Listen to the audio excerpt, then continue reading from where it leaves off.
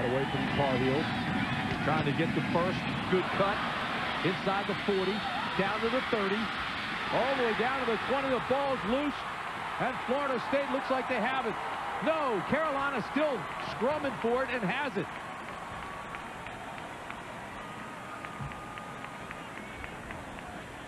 Jacque Lewis with a terrific run, but at the end was stripped, and the Tar Heels get it back. Well, you said they needed something to happen. This might be it. A great hole. Double team at the point of attack. Backside guard pulls. Right here, a nice little move. But look at Le uh, Leroy Smith, and that's the hammer, man. You teach that all day in practice.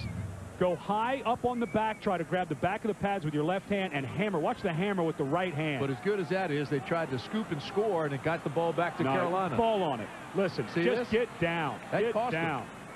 Johnson did the right thing, but you're right, man. You,